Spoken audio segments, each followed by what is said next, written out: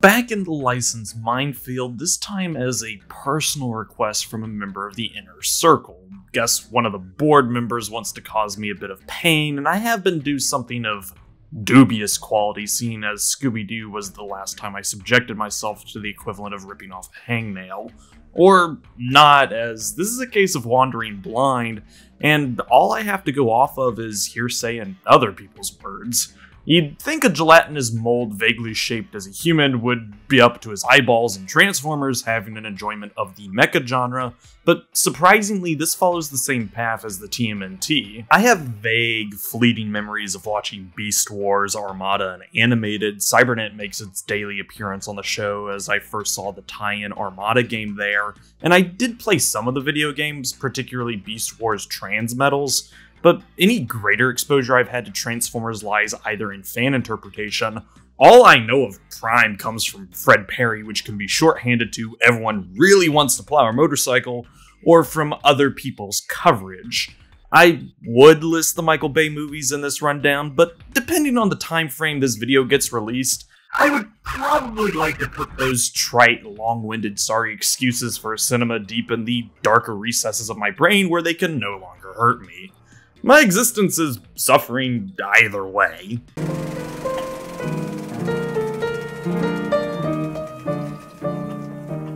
While Activision published Transformers 07, as I will be calling it forward to distinguish it from both the movie and other games under the license, was a foray by good old TT themselves. Traveller's Tales. If I had a Hall of Fame dedicated to the unsung license developers in the industry, they would probably be somewhere in there as most of their output is focused on developing tie-ins and other such usually forgotten titles, as most they are known nowadays for are the LEGO games, a stark contrast from their earlier work tied to Psygnosis Limited. Those older in the crowd may have a fondness for the White Owl, as this once again brings us back to the British home computer boom of the 80s. Cutting down a serpentine story as Psygnosis' seeds were planted during the days of Imagine Software, see the Bubble Bursts article linked below. Once that company went under and was acquired by Ocean Software, co-founders David Lawson and Mark Butler would form a sort of transitional company by the name of Finchspeed to acquire Imagine's unfinished software mostly two titles. Psyclapse, which would get the boot as it was stored into the vault immediately, and a little known game by the name of Bandersnatch. What I mean by shortening the story is that Bandersnatch is its own entity. The never finished mega games of Imagine is a treasure trove of what ifs and speculation. The fact that David and Mark went out of their way to attempt to acquire the project says a lot. From the Personal Computer Games magazine circa September 1984 to hold the vast size of the program, Bandersnatch, Imagine planned originally to sell it with a 64K ROM chip, more than doubling the 48K Spectrum's memory. This would have cost a fortune, and negotiations are now rumored to be underway with Sinclair to put the game out on Microdrive. For a bit of running back, Sinclair, also known as Sinclair Research, wanted the unfinished Mega games as well after Imagine went bust, ultimately winning the bidding war against Finchspeed. However, all David had to do was wait to get to work on Bandersnatch. From Home Computer Weekly number 84, The Phoenix Rises from the Flames. Imagine is not dead. Bandersnatch, one of the much vaunted Mega games, has been bought up by Sinclair Research and will be released for the QL in the new year. Dave Lawson, joint founder of Imagine, and Ian Hetherington, financial director, are heading a team of ex Imagine staff which is working on the conversion.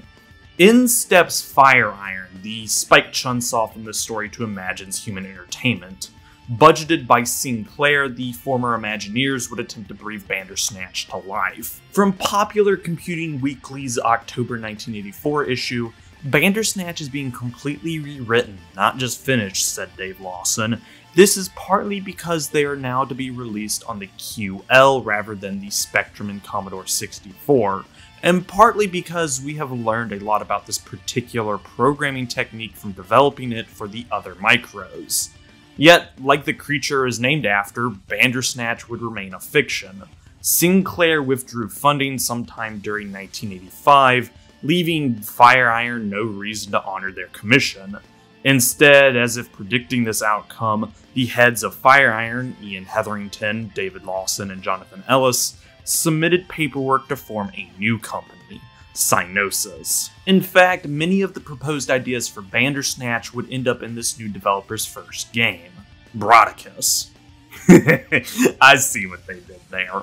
From onward, Psygnosis would make a name for themselves with the likes of Lemmings, Wipeout, and Shadow of the Beast for the three fans of that game.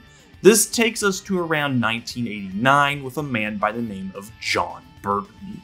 Matching the time period and region we've mostly stuck to, we get a repeat of what happened during the history of Max Payne.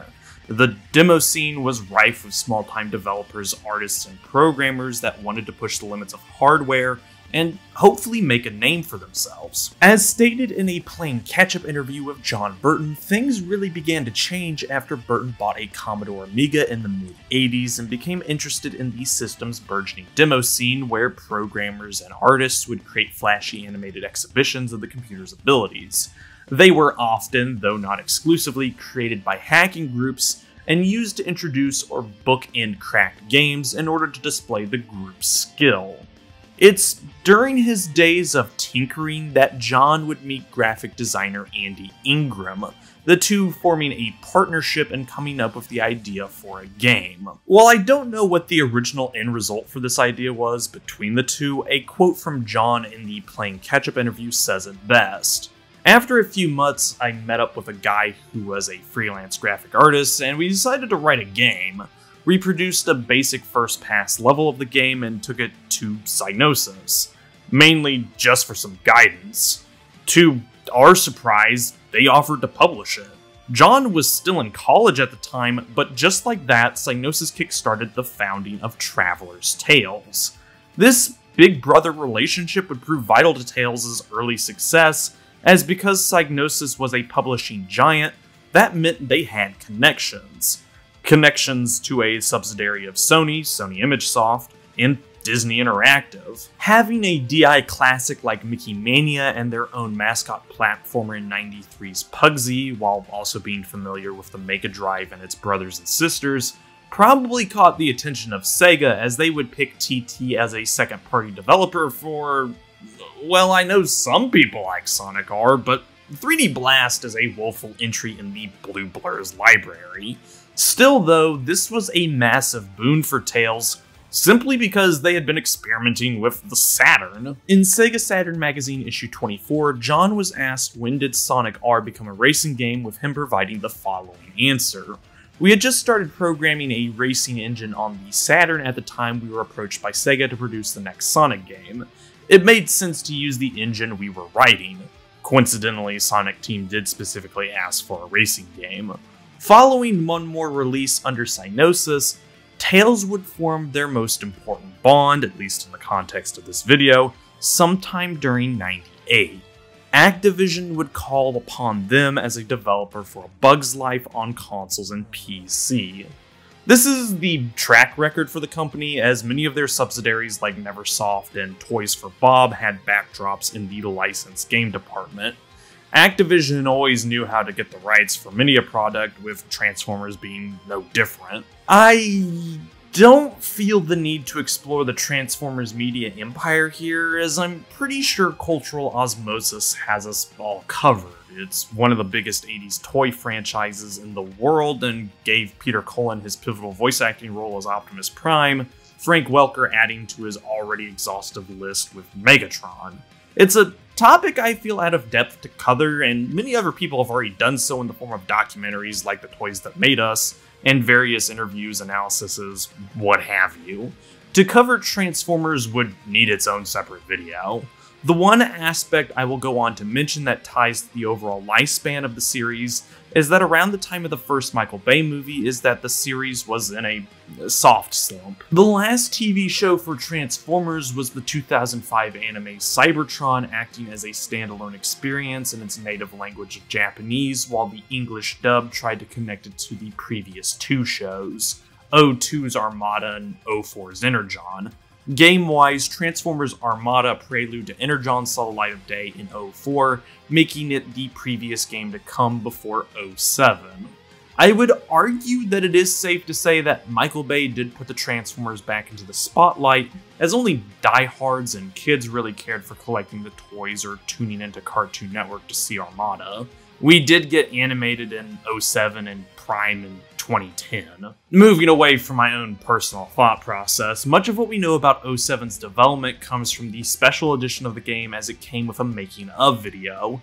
Essentially, Activision and TT had much of the same access as the Collective did for Revenge of the Sith, up to and including getting both physical actors like Shia LaBeouf and Megan Fox to voice their characters from the movie within the game, as well as Peter Cullen and the other Transformer voice actors. Not returning, however, was Hugo Weaving's Megatron. Instead, taking his role within the game was the OG, Frank Welker. This would ultimately serve as Frank's backdoor entrance into the movies, as Hugo would only voice Megatron within the first film. For perspective, Peter and Frank hadn't voiced either Optimus or Megatron since the original run of G1 Transformers, back in the late 80s. That means Transformers 07 is a reunion for the two, with G1 writer Flint Dille joining the mix as well. Design doc wise, Activision publishers wanted to fully capture the identity of the Transformers. The three major criteria they wanted to fulfill were as such scale, destruction, and transformation. Boiled down, big robots should cause massive damage to landscape and change into car jet or helicopter everything you want to do as a Transformer. Release schedule wise, handheld versions of the game came out first on June 19, 2007, consoles following suit on June 26, 2007 in North America. EU, meanwhile, had all copies of the game released on July 20th, 2007. Lining up with the movie, Michael Bay's Transformers had its first showing on June 10th, 2007 in South Korea, the United States getting it a day before our independence, July 3rd, 2007. As requested by me from a member of the Inner Circle, I played through the PlayStation 2 version as that is what that member of the board played with as a child.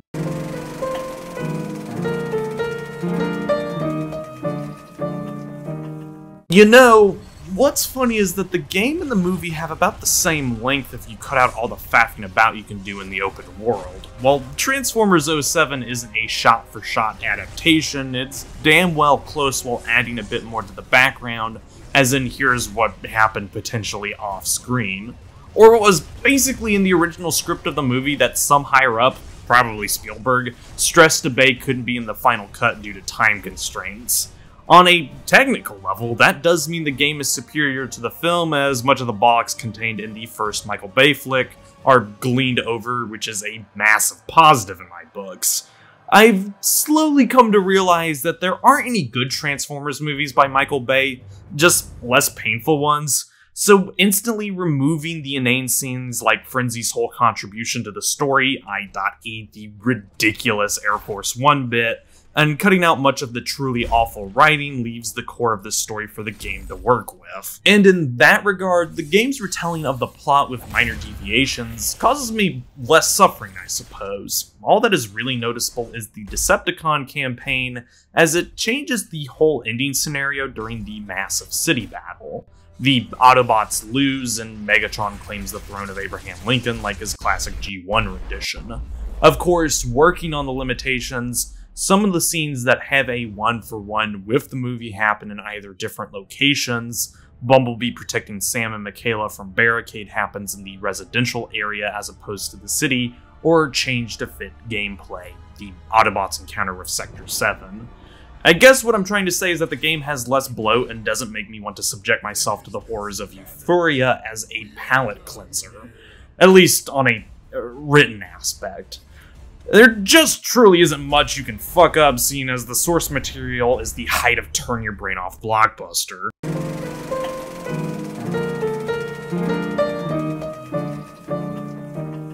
To at least give 07 some credit, it doesn't emulate perfectly, thus the odd texture flickering and random bouts of slowdown. That's a ROM issue which won't factor into this critique as it lies outside the context of the game. This isn't Manhunt on Steam being a bugger to get working despite the officialness of its release. Back to Transformers 07, while it definitely isn't pretty, or at least this rendition as 07 also came out on PlayStation 3 and Xbox 360, the fact that it retains much of what the higher definition versions had just in a lower resolution and graphic fidelity is something to be applauded. Nothing was cut out for this version, at least from what I could compare, so while it may look worse, that is the price to be paid being on a weaker console's hardware when other attributes could have been cut like missions or characters.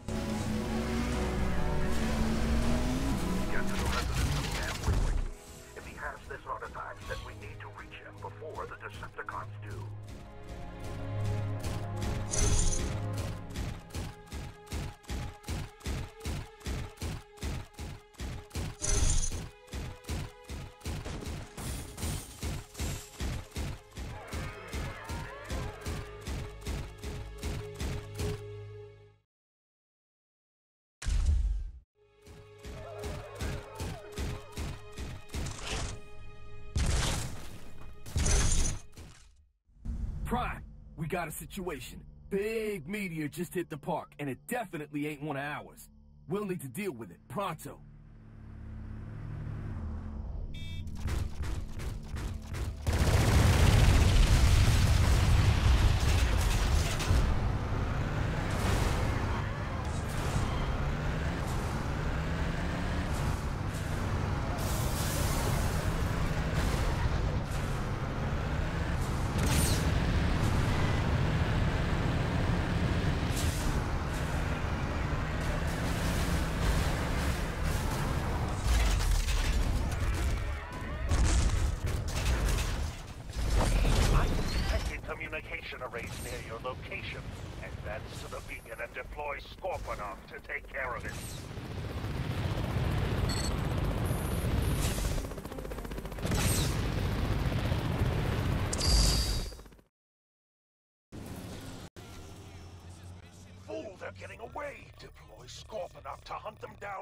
You search for more data.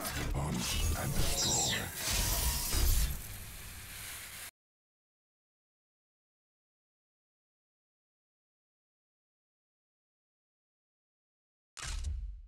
are trying to transmit a distress signal using mobile communication vehicles. Hunt them down. Hunt them down and destroy them all.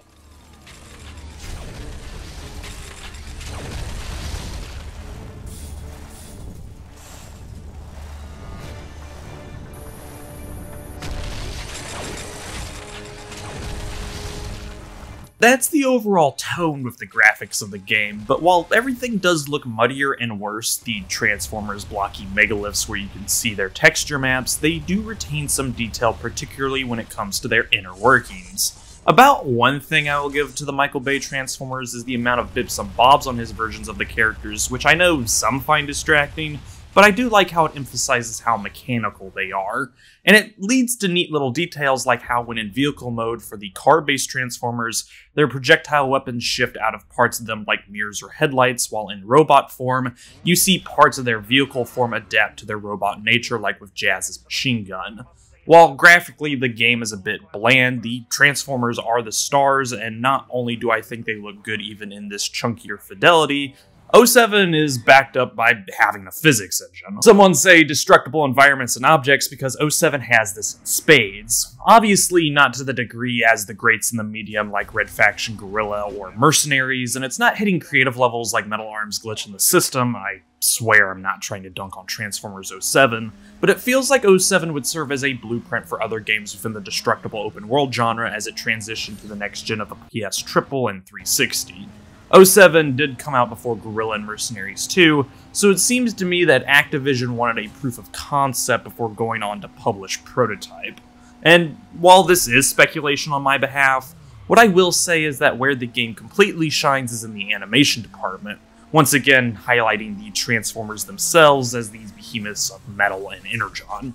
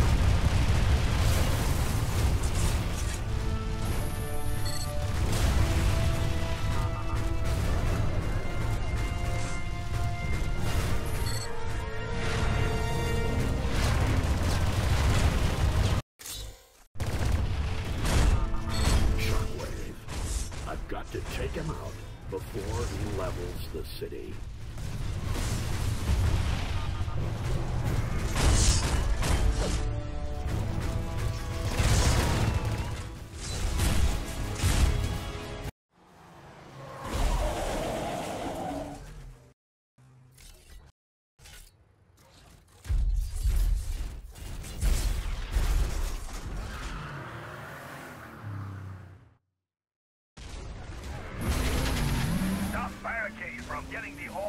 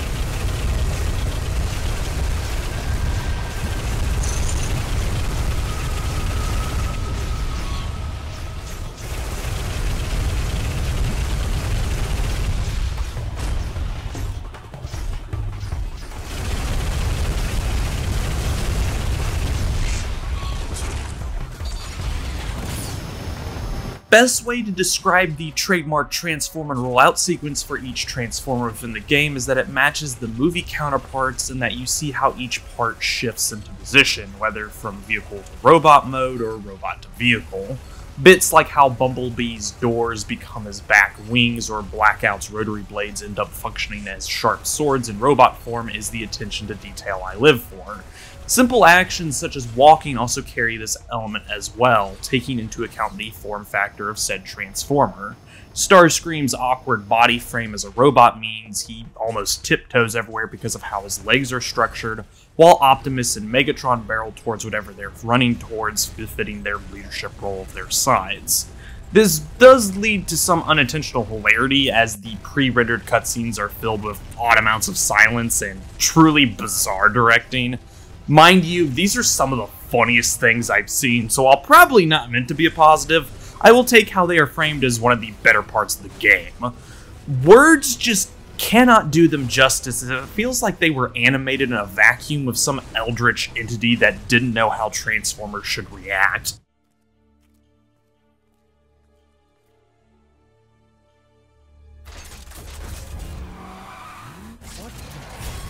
That's my car? Where can I get one like that? He's buying us time. Come on, run!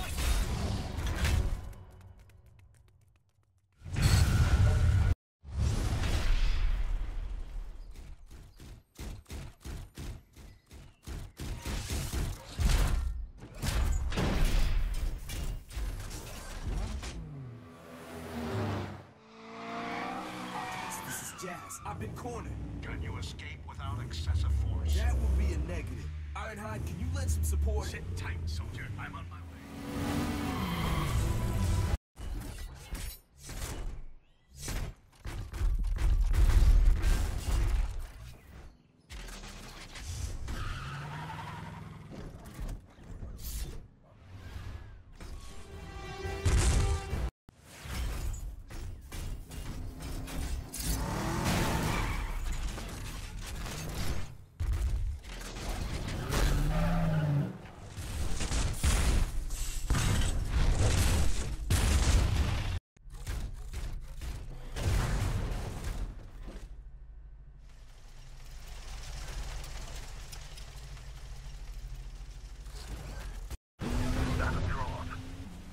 Before it sounds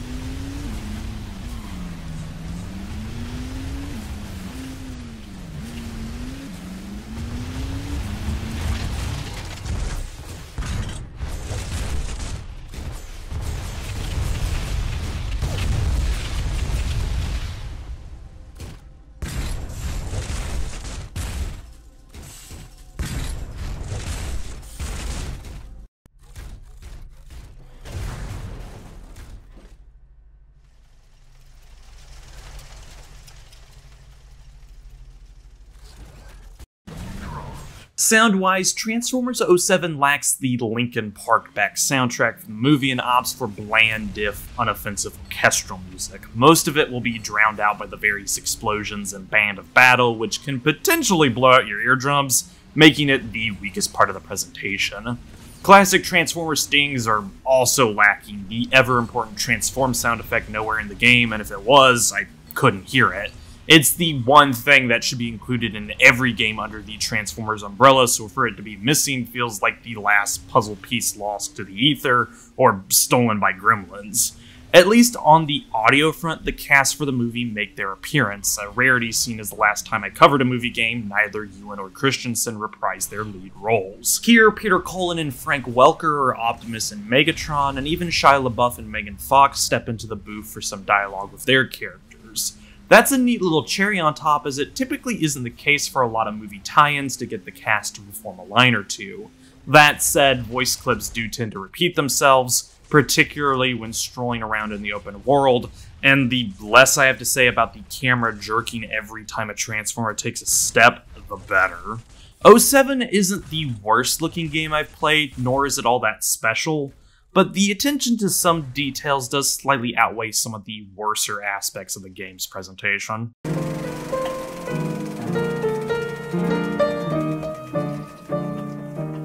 Transformers 07 is a third person action shooting game with some driving nestled in between. These are Transformers after all. While difficulty isn't selectable, 07 is a bit hard to peg as it varies wildly from mission to mission. Sometimes you're met with a chapter mission that barely requires your higher brain functions to pass, while other times the game ratchets up the bollocks that you're drowning in balls. Harder missions can follow easier ones, and vice versa, leading to an inconsistent playing experience. Basically, what that means is like a number of budget license titles, previous example on the show Cyberchase rearing its head here, the target audience is troublesome to place. Huh. This adaptation and the source material at least share that confusion. Leaving my savage remarks on the Michael Bay movies aside, while there is no way to select difficulty, there are two campaigns to wallop Transformer ass through Autobots and Decepticons. Effectively, both sides of the story have the same format and layout. All that changes between the two factions are characters. For our heroic robots, you'll switch between Bumblebee, Jazz, Ironhide, and Optimus Prime. Villains, meanwhile, unless your personal compass aligns with the Decepticons, you frickin' misanthrope, are Blackout, Barricade, Scorponok, Starscream, and Megatron. A split of 4 to 5 between the two halves, though you won't be switching characters on the fly like you would other games. This ties back to level structure, so let's get back to that now. Levels are separated into chapters and missions. Chapters and levels are indistinguishable, and I've been using the terms interchangeably. In short, the chapter is the open world area you can explore before tackling any of the missions, which are completed in sequential order. For some chapters, you only play as one Autobot or Decepticon. The first chapter for the Autobot campaign has you stick with Bumblebee, but later chapters might have you play a multitude of characters, usually tagging in during a mission. Best example would be Chapter 2 of the Autobot story, in which you start off as Jazz for the first mission, then switch to Ironhide after completion, and then for the next mission, only to be passed off to Optimus for the last set of missions and the open world if you do decide to revisit the chapter. Yes, you can revisit chapters after you finish them, but you can't switch between characters if the missions have you changing perspectives, so that is what the kids say lame. While mission control will hand you like an IRS agent to go on to the next mission, you are freely able to explore a chapter's map as each one hides 100 cubes that unlock bonus material when collected, side missions that do the same, and challenges that also do the same. That's all the open worlds offer, thus, if you don't feel like wasting time, you can always roll out towards the indicated green mission, as that is the next subsection in the chapter. Completed missions are highlighted in yellow, but there's no reason to replay them. It makes the minimap kind of useless in the open world, as it tells you where objectives are in the missions. Speaking of, missions are split between chases, where you follow another Transformer to a set location, wave based combat challenges, destruction rampages, bosses, or some combination of the above. Place your bets on the last of those, as every mission is some mixture of racing around to a set location, either fighting drones or named character. It's hard to throw a dart in this game without landing on something you've done previously, thus making the missions not interesting to cover. 07 is quick to reveal its tricks, and by the time you've done your third wave combat challenge, destroy X buildings or boss fight mixed in with some sort of chase, the writing's on the wall. Bringing this right round to the characters again, each control the same when looking at them with an overview. Left stick moves, right stick aims the camera, and your targeting reticle, X or your equivalent of the PlayStation 2 button, is jump or accelerate for most characters. Square is your basic combo, triggers for guns, lock on, guard, and boost, and circle is grab. On that topic, Transformers can grab most smaller objects like cars, trees, lampposts, etc., but to pick up enemies, they have to be knocked down. Guarding allows the ability to counter when hitting the attack button, which provides iframes and damage in the same package, but regular attacks also grant iframes at random intervals. Sometimes as well, guarding doesn't work, but more on this later. Of all the buttons, however, triangle is the most important as that is the transform button. Pressing it whether moving or standing still has your transformer change to vehicle mode, though it is almost always better to transform while moving as you get a bit of extra acceleration which goes both ways as switching back to robot mode while driving or flying gives you a bit of forward movement, sometimes enough to clear smaller gaps.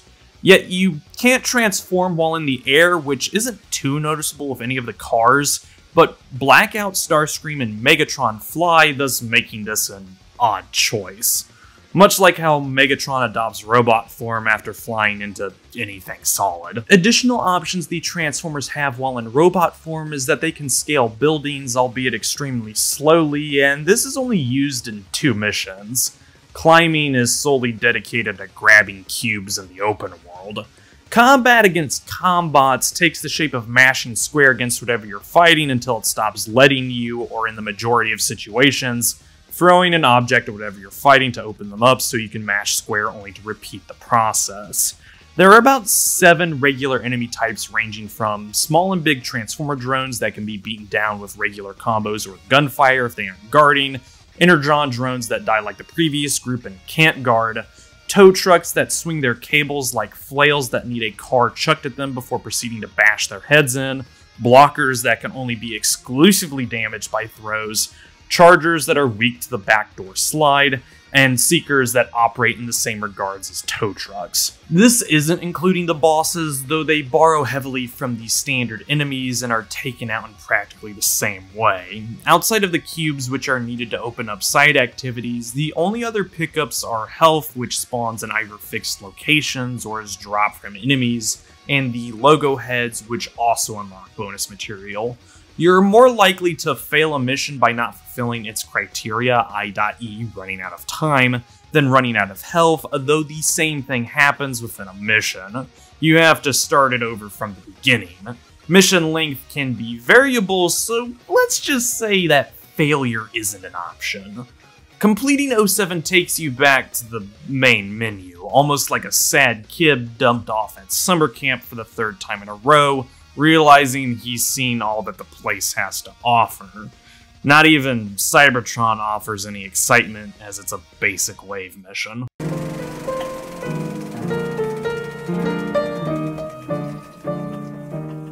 Novelty can be a selling point whether intentional or not, a factor that Transformers 07 thankfully carries to slightly outweigh some of the cornball design decisions and rough implementation of ideas.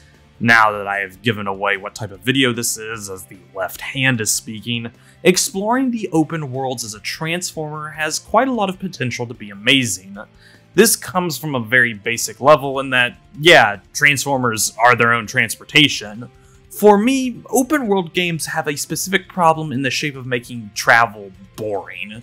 Compared to the rest of the experiences, traversing the map feels quarantined off from everything else, such as the horseback riding in Ghost of Tsushima, the walking in Fallout, or the parkour in Assassin's Creed. While the downtime of the ride can act as a decompress from a story mission, more often than not, I find the distance to be little more than a necessary evil so I can get to more fun stuff. This observation extends to even open world travel that I like. Sleeping Dogs' crotch rockets are some of the best video game motorcycles conceived, but they still fall to the wayside to the greater functions of the gameplay. Because covering large distances in a short span of time is intrinsic to the Transformers due to their vehicular nature, crossing the open worlds of 07 feels more like hitting the streets of Burnout Paradise or Driver San Francisco, and thus the separating barrier is nowhere to be seen. Rock'em Sock'em Robots blends together with Need for Speed in a mentally conceivable way, as all the levels take advantage of both modes in the same ways that Infamous and Prototype would fuse their action and traversal styles two years later. As if to drive this home, the driving or flying feels distinctive between all the Transformers. Bumblebee is an all-rounder, Jazz is speed, while Ironhide and Optimus are mostly power, though between the two, the Prime has better acceleration and feels faster compared to Ironhide's swifter handling.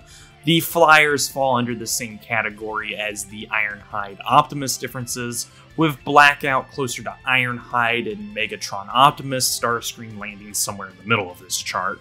Scorponok, meanwhile, is the noticeable oddball out of the playable characters because he has unique traversal mechanics. On solid land, he only has his scorpion legs to carry him all over the place, but once he clambers onto sand or dirt, he can dive below to quicken his pace, making his first stage in the military base a clever introduction to this ability.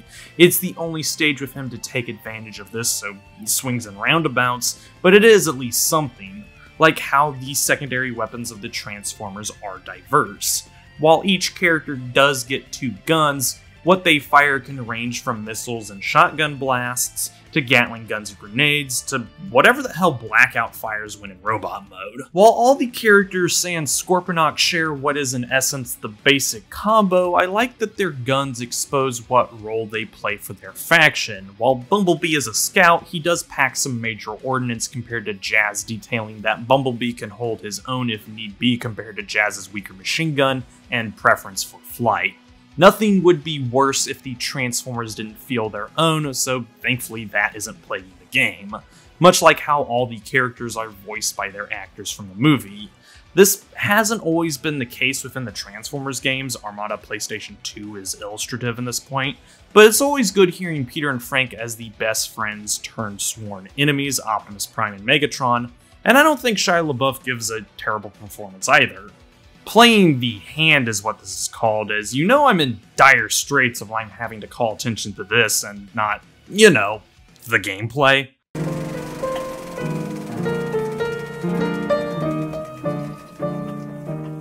The story of Sisyphus is often used as an example of displaying infinite tedium, punished to continually push a rather large and weighty boulder up a steep incline only to watch it fall back down to the bottom simply to begin the process anew without rest could be framed as a type of insanity in that Sisyphus is trying something over and over again, expecting different results. It is a hell of his own making since he thought he could outsmart the gods, thus he was rewarded with mindless busy work for the rest of eternity, mocking his rather sharp cleverness. Hubris in a distilled, unadulterated form befitting the likes of Greek mythology, where the gods were cruel and often passed judgment in the same vein that humanity did. They were a reflection of us and our own natures. Or, in the great words of one Mr. OOC, I don't like repetition, I don't like repetition. I don't like repetition. God, does the game match the movie in this aspect when it comes to the gameplay? What you see is what you get in the truest turn of phrase. Outside of level and chapter progression, there is so little growth within the loop that it makes the deserts of Qatar hospitable.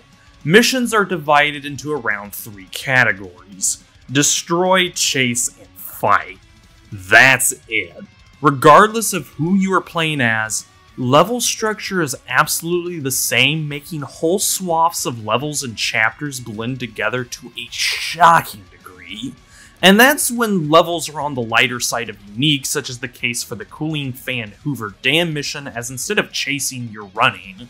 To cut down a lot of my own rock pushing, The battles against Barricade, Shockwave, Brawl, Bumblebee, and Optimus are the exact same layout wise. Split into two phases, you alternate between attack and chase, where once you've damaged any of the above enough, they begin to run away, forcing you to track them down. The only minor deviance from this portion of these bosses is that Barricade slash Bumblebee requires you to beat them in a race to the next leg, Shockwave is trying to destroy the city, and Optimus blocks out the minimap. Minuscule modifiers that don't transform the overall flow of any of the encounters. None of these are phase changes and act more like additional failure scenarios if you don't abide by them. This becomes remarkably apparent in the Barricade Bumblebee showdowns. Sure seems like Revenge of the Fallen borrowed its usage of Soundwave scenes with how both battles are exact duplicates of each other. Obvious bashing on one of the worst movies I've ever seen aside, there is literally no difference between Barricade slash Bumblebee 1 and 2. Not in the contrasting, mind you, between the Autobot and Decepticon, though both the framing of their four fights is the equivalent of a palette swap. Barricade 1 and 2 plays out the exact same way down to throwing an object at him to get Barricade to quit with his flail attack so you can wail on him leading to a race sequence back into the flail. Alternate attacks are not employed by the police car to display that this is a later encounter. Barricade 1 and 2 extending to Bumblebee 1 and 2 as well are copy-pasted, but this hardly scratches the surface of the boss fights, as they are one of the worst aspects of 07 seeing as they require little to no strategy outside of one which I'll get to, and are usually bogged down by either waves of smaller transformers you have to beat up before the boss can be attacked, or the much maligned unpredictable iframes that pop up.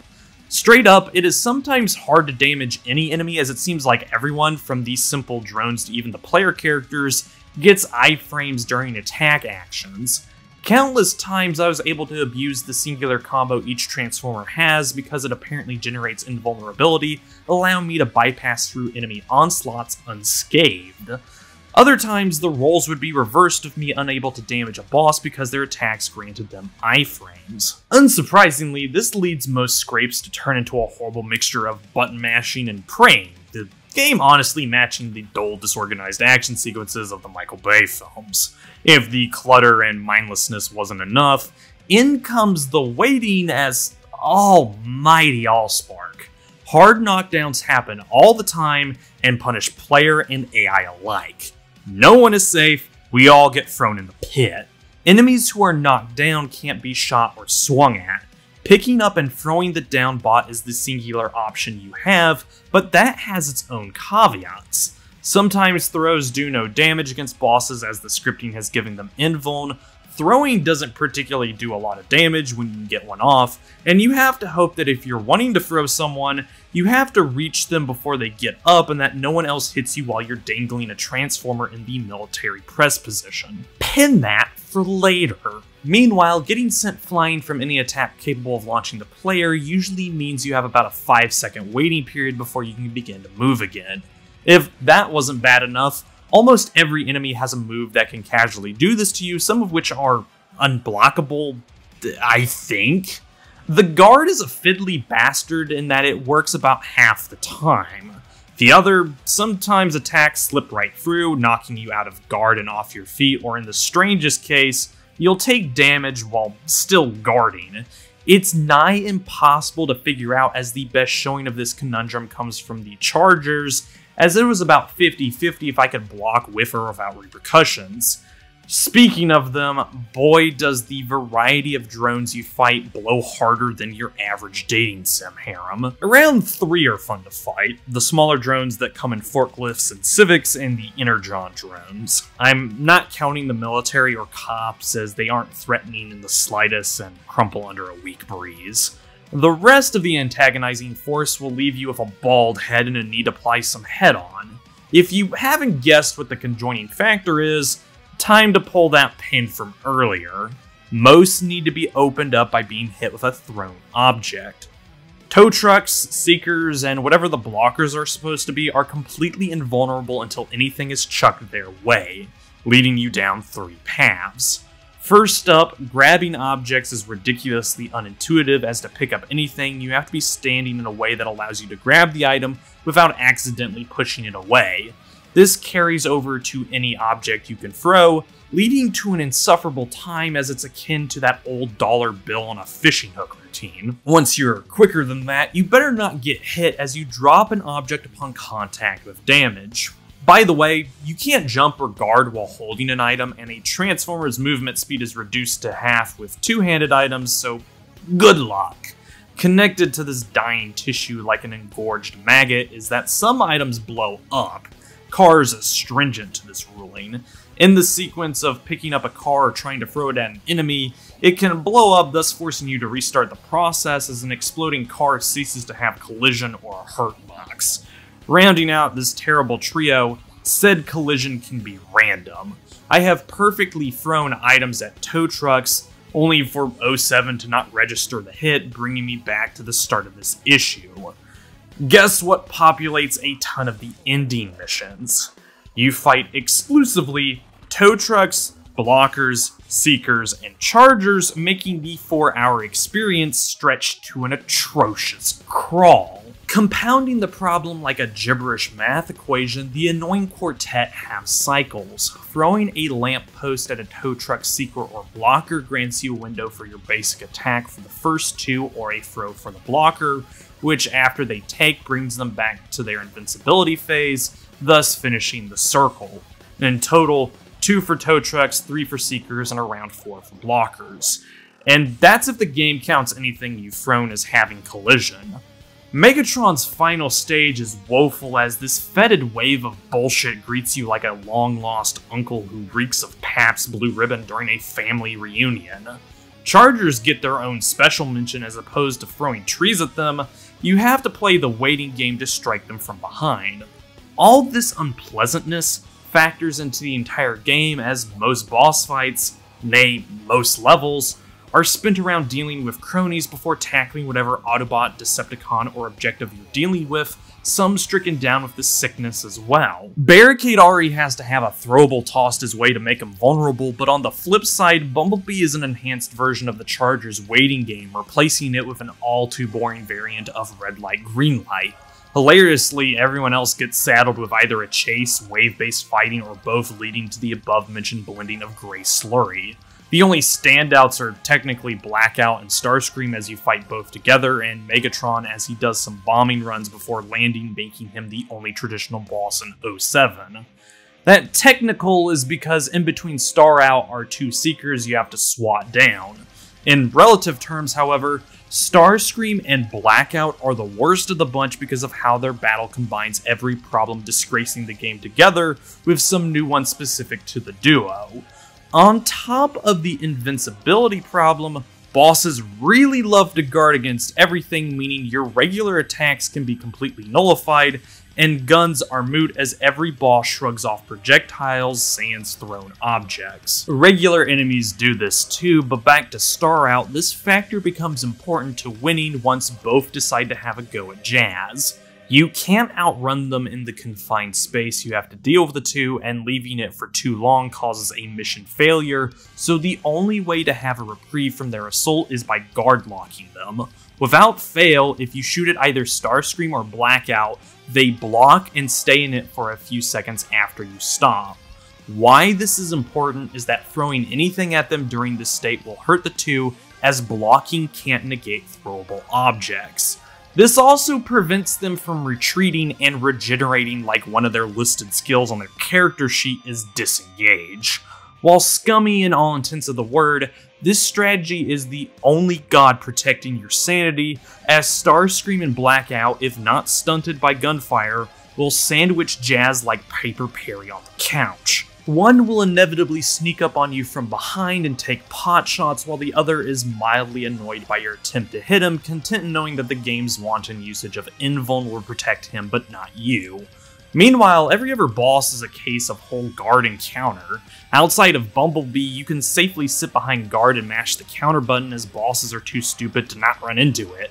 It's what makes the actual fights hard to cover as there is so little substance within them, but much of the garbage I've had the displeasure to play through surrounds them. Mission failure is a rabbit punch to your soft, squishy bits as there are no checkpoints.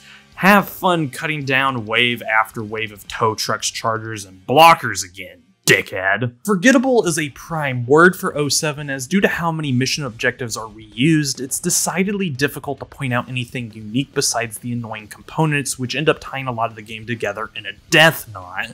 Blackout and Starscream share the same first mission, Scorponok's two levels are both destruction fests, everyone gets some mashup of a chase or wave-based fighting, and the only remotely exceptional stage is when the roles are reversed for a chase. Even the elements I slightly enjoy, I have to add a disclaimer and use my left hand. It's neat that the Transformers can explore an open world. There's fuck all to do in it besides collecting boring cubes and playing boring side missions. The driving is pretty alright, until you hit anything and 07's collision wigs out, killing any acceleration you have, which did lead to me failing a few chase missions. The extra paint schemes give us a good bit of nostalgia, but to get them you have to do the stupid challenges and side missions.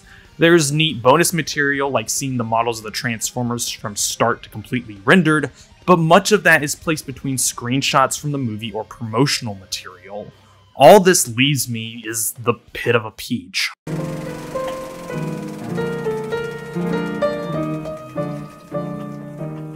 A few words come to mind War for Cybertron, Devastation, Call of the Future. All are better Transformers games, whether on a gameplay or fanfare front, and sometimes even both. It's novel that Transformers 07 is an open world budget game and that each bot has their own unique attributes, but the utter lack of interesting side activities, the flat line of character progression, and the insidiously bland loop of missions is like the nail of jail delivered to my temple, transfixed in the bad way. Unless you are a massive fan of the property, which again, there are better games under the Transformers license, play literally any other open world game. To provide context, coming out around the same time, whether before or after, as 07 within the same genre was Assassin's Creed 1, Crackdown 1, Elder Scrolls Oblivion, GTA 4, The Witcher, Stalker Shadow of Chernobyl, and the open world masterclass that is Saints Row 2.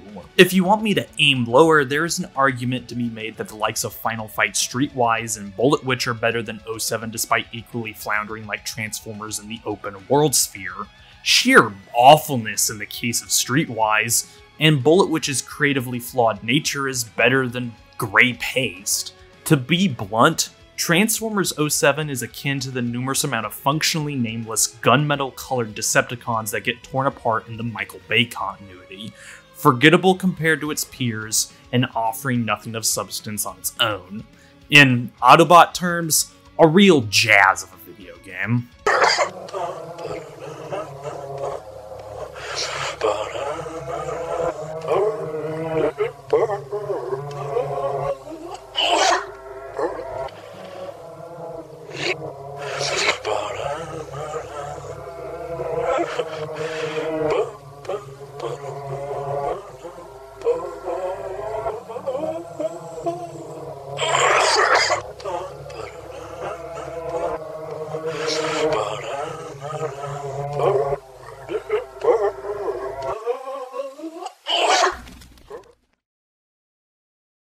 Requests are 0 for 2 now, as if you remember, State of Emergency was chosen for me by another member of the Inner Circle. That's partly why I don't like doing requests, as it's kind of like firing a shotgun in Hunt Showdown.